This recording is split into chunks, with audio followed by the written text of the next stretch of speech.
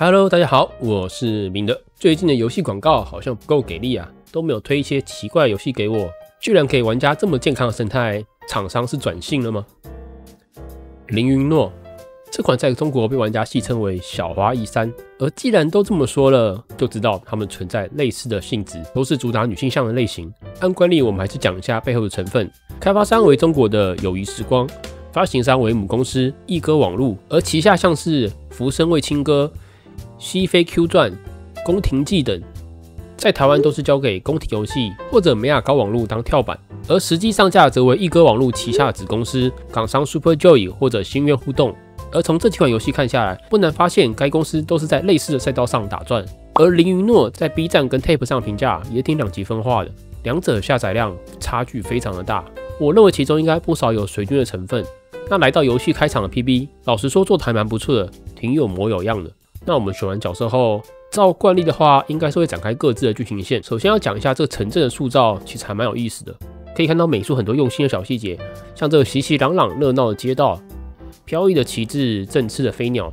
且你越接近权力的核心，整体的氛围也会随之改变。这点细节还挺有意思的。而整体是采用这种国风唯美立绘。每次我看到这风格啊，都会让我想到各种言情小说。虽然我个人不太好这口，但说实在，精致度上离花一山还是有段差距。而主线剧情，如果先不看文本好坏，就以观赏体验来说，做的还挺充足的。至少在主线对话上都会有语音，而且这过场的剧情动画真的堪称一绝，难怪不少网友都希望他们去出动画。看来又是一间被游戏耽误的动画公司呢。不过虽然是主打剧情驱动，号称给玩家沉浸式的体验，但不定时跳出战力数值跟夜游常出现的跑马灯，都让我不时会出戏回归现实。而且不知道该说是厂商在拖戏，或者是酝酿，剧情都跑了老半天，还是没有进入转折或者高潮点。这是准备演个上百集吗？而游戏的战斗就是标准那种可以一键跳过的纯战力碾压玩法。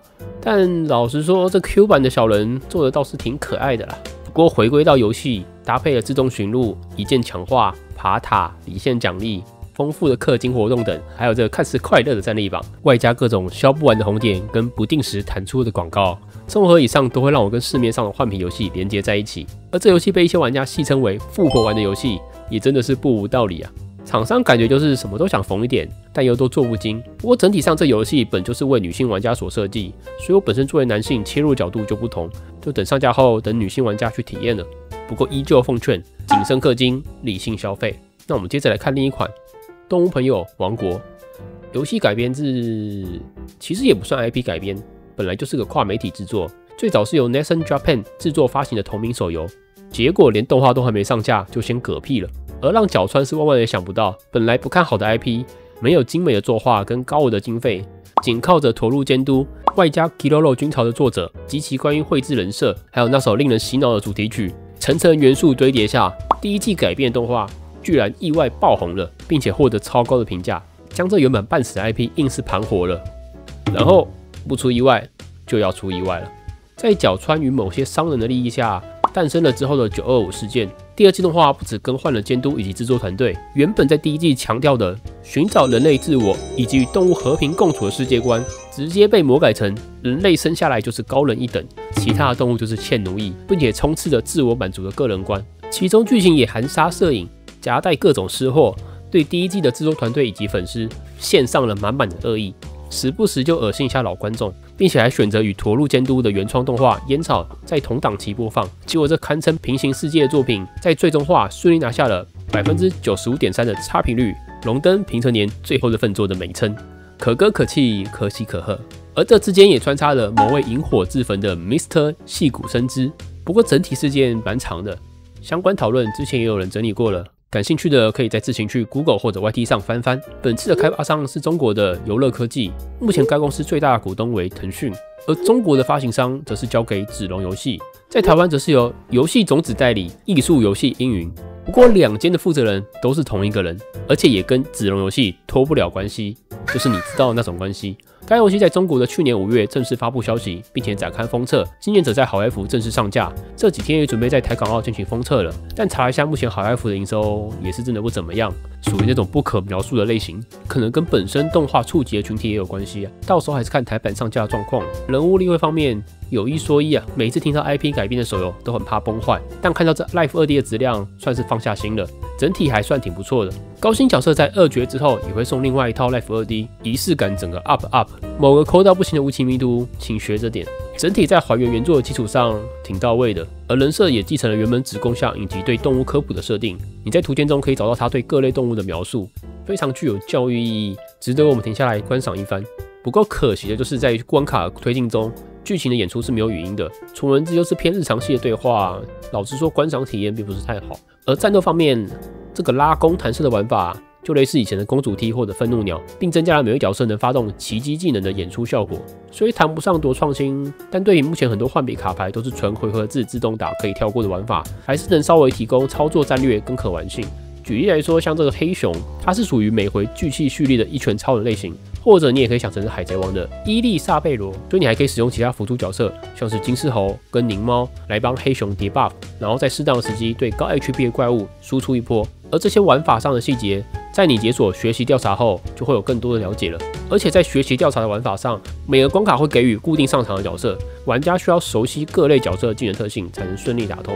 不过整个战斗玩下来，我在个人的体验上还是有发现一些小缺点的，就是这个弹射加回合的打法会让每场的战斗拖得非常的长，尤其在前期玩起来会非常的不爽。首先玩家需要瞄准后发射，当对敌人碰撞攻击后会触发动画技能，之后再发动一个普通攻击，然后再换敌人攻击，属于标准的回合制战斗。你可能想说还好吧？但实际上这一串演出并没有很流畅，因为接着第二位登场以后，除了上述的流程以外，前一位角色跟敌人也会有自己的攻击回合，所以每回的战斗流程就会一直延长，一直延长。外加这个技能动画每一关都要重复看一次，没办法强制关闭，所以每一次的弹射都是对我耐心的磨损啊。而这鬼才战斗设计，你必须要通关到二之一解锁倍数以后，整个体感才会上升。纯纯的就是在考验玩家对这 IP 的信仰！如果你真的喜欢这 IP，请务必撑下去，然后扫荡资源，这重复看录播的方式。当初设计这玩法的天才，你给我出来，我保证不打死你！这个好的不学，都学这种拖台型的设定，除了浪费电跟时间以外，我实在想不到有什么好处。其他还有一些常规的派遣跟家园系统，在这方面就做的比较阳春一点了，没什么特别好介绍的。氪金方面，我觉得官方也挺贼的，一抽需要小赚四百五十个，但大氪一次只能兑换一百四十个，这感觉就是后来为了能多捞点才调整的，总不会说是福利给太多才需要扣一点回来吧？而老样子计算后不算加倍的话，实抽约在八百五十元左右，算上 IP 价值的话，就看各位觉得合不合理的。有钱的话就当动物朋友，没钱的话你根本没朋友。总之，结合在战斗上的体验。对于习惯自动化、快节奏、碎片化的玩家，前期相对会比较干一点点。可能一开始你玩起来还会很有爱，但这个爱会不会消失，就要问问你宝贵时间允不允许了。总之就是一款非常粉丝向的作品。然后最近华谊国际也公布，准备在明年代理营运 Sega 于二零一九年开发上架的《灯舞朋友三》。这款在今年六月六号还上架 PS 四平台，结果六月十六号就出现无法登录的问题，进入长期维修状态。一直到八月二号，官方又直接公布这个问题，他们无法解决，决定停止该平台的营运，真是命运多舛啊！然后我查了一下，目前日服的营运状况虽然不太高，但某方面来说也是挺稳定的，可能就指望这一次外服来拉一波血线了。结论：不公益成功难，成功易手工难，手工易中工难。一款 IP 的成功其实并不容易，不只需要各方团队背后的努力，也是多少粉丝支持的结果。成也风云，败也风云，业力的回力镖终将回到自己。今天影片就到这边，我是明德，我们下次见，拜拜。